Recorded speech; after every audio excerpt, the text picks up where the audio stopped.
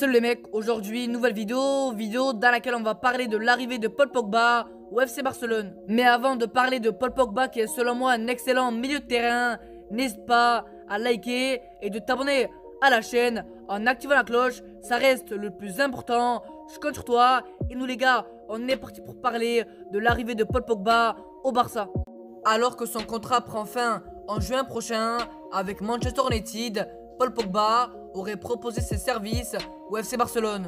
Chaque jour apporte son nouveau lot de nouvelles sur le dossier Paul Pogba. Si en début de semaine, on annonçait que le Français était finalement disposé à prolonger son contrat avec Manchester United, la piste Real Madrid était à nouveau annoncée comme très chaude ce matin.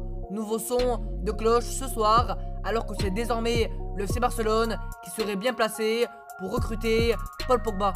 D'après les informations d'ESPN, confirmées par Sport, le champion du monde 2018, Paul Pogba, aurait proposé ses services au Blaugrana. L'opération Pogba serait même d'ailleurs lancée du côté des dirigeants catalans. Néanmoins, si cette opportunité ravit Juan Laporta et Xavi et quelques profils box-to-box manquent cruellement au Blaugrana.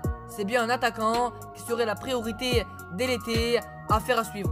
Voici en tout cas pour cette vidéo, j'espère qu'elle vous aura plu. Évidemment, dis-moi ton avis en commentaire. Est-ce que l'arrivée de Paul Pogba au FC Barcelone est vraiment une bonne idée?